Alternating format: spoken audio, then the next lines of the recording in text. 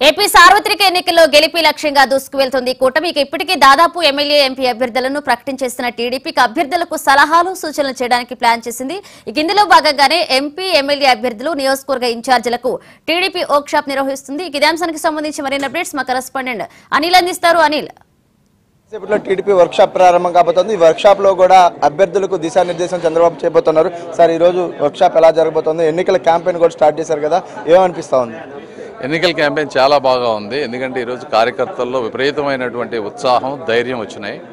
ప్రజల్లో కూడా ప్రజల్లో కూడా విపరీతమైన మార్పు అనేది కనిపిస్తూ ఉంది. సో ఆ విధంగా బాగుంది. ఈ రోజు అంటే మీకు తెలియని ఏముంది ఇందులో చాలామంది కొత్త వాళ్ళు ఉన్నారు. రాజకీయాల్లో ఇప్పటివరకు లేని వాళ్ళు ఇప్పుడు నాలాంటి వాళ్ళు విద్యావంతులు ఉన్నారు.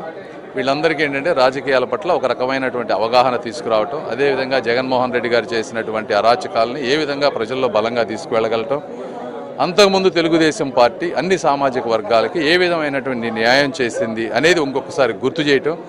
ఈ మూడు అంశాల మీద చంద్రబాబు నాయుడు గారు మాకు ఆయన నలభై సంవత్సరాల్లో ఉన్నటువంటి ఎక్స్పీరియన్స్ని ఒక త్రీ ఫోర్ అవర్స్లో క్లుప్తంగా చెప్పబోతున్నారు. దానికి మేము కూడా ఉత్సాహంగా వింటా విందామని వచ్చాం. ముఖ్యంగా అంటే తొలిసారి ఎన్నికల బరిలో ఉన్నారు. అధికార పార్టీ చూస్తే కొంత దూకుడుగానే ముందుకు వెళ్తూ దాడులు చేస్తా ఉంది. మీ పార్లమెంట్ పరిధిలో మీ అభ్యర్థి పైన కూడా దాడి జరిగింది ప్రతిపాడులో. ఏంటి వీటన్నిటిని ఎలా ఎదుర్కోపోతా ఉన్నారు? ఎలా ముందుకు వెళ్తా ఉన్నారు? ఇప్పుడు ఒకటి ఎదుటి వాళ్ళు దౌర్జన్యం చేశారు కదా అని చెప్పి ప్రతి చిన్న విషయంలోనూ మేము దౌర్జన్యం చేయాల్సిన అవసరం లేదు.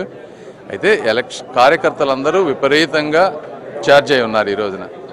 వాళ్ళకి అర్థం కాని ఏంటంటే ఏదైనా వాళ్ళు కూడా తీగ తెగేదాకా తెచ్చుకోవద్దు. అవి తెచ్చుకున్నప్పుడు దానికి ఏ విధమైనటువంటి మెకానిజం కావాలో ఆ మెకానిజంకి మా కార్యకర్తలు అందరూ సిద్ధంగా ఉన్నారు నాయకులు కానీ సో ఇది వాళ్ళు మనం కలిసి బతకాల్సినటువంటి సమాజం ఇది ఇవాళ కాకపోతే రేపు.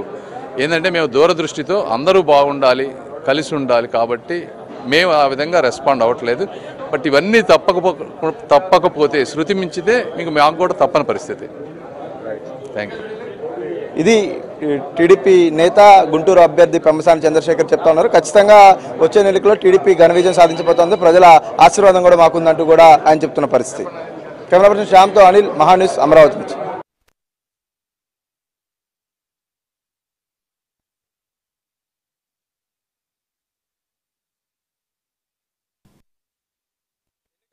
అభ్యర్థులను చంద్రబాబు